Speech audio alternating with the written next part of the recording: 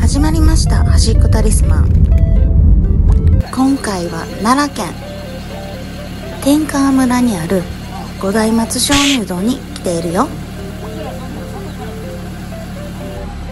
幸せ行き。受付は2部制って書いてあるけどキャンセルが出ることもあるみたいで今回はすぐに乗せてもらえたよ。この遊園地にありそうなトロッコで行ってんけどもう見た目だけでワクワクするやろ？おっちゃんが見どころとか撮影スポットとかを教えてくれながら上に登っていくよ。苔が綺麗そうあー苔綺麗そう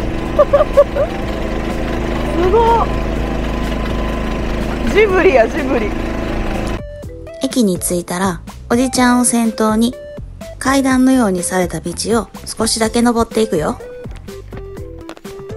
そんなに距離はないから安心してね。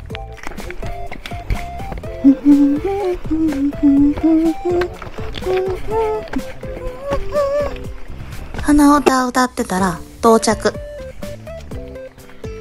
これやすごいなこれ。これデブ通られへんや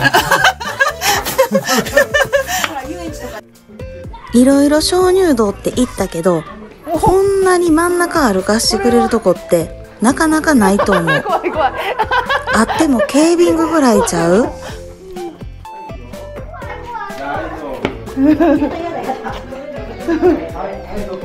華麗に滑れそうやん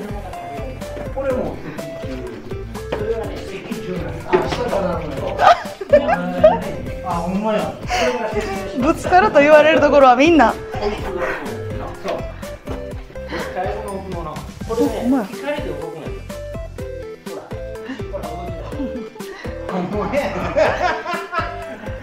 ここに住んでんねんいろんな部分でおじちゃんがめっちゃ面白い感じで説明してくれんねん正面の右手ね、これ千成秒間ということで、これひょうたんの形ね、はいはいはい今照らしてるところ。はいはいで、こっちにね、白鶴の姿ってあるでしょ？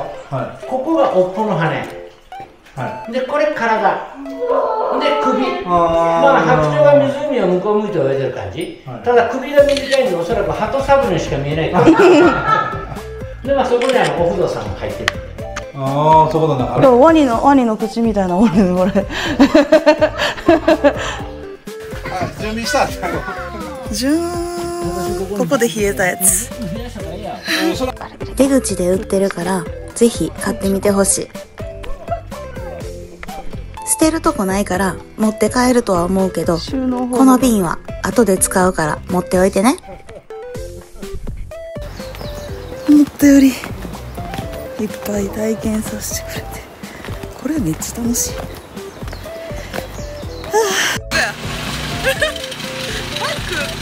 帰りはこのトロッコ。そのままバックで帰っていくねん。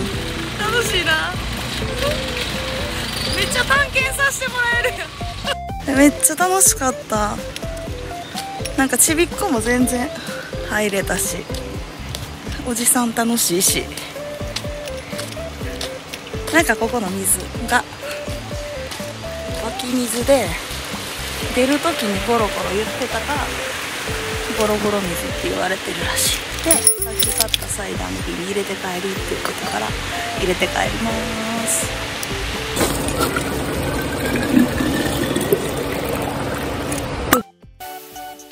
見てくれてありがとう。